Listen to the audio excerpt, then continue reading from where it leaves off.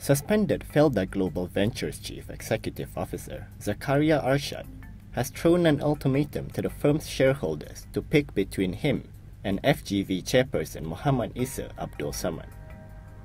In an interview with Starbiz, he was quoted as saying, Under the circumstances, I cannot go on working in FGV. Shareholders have to decide.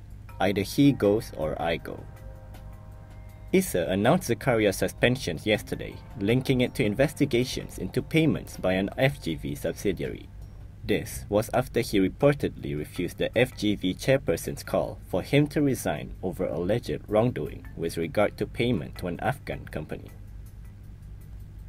Zakaria, in a letter to Isa, denied he had violated the corporate code of governance and said the payment was approved by his predecessor. In the letter dated Monday, he argued that the payment process was approved and implemented by the previous chief executive officer and said that he was not guilty of these accusations and would not resign as instructed.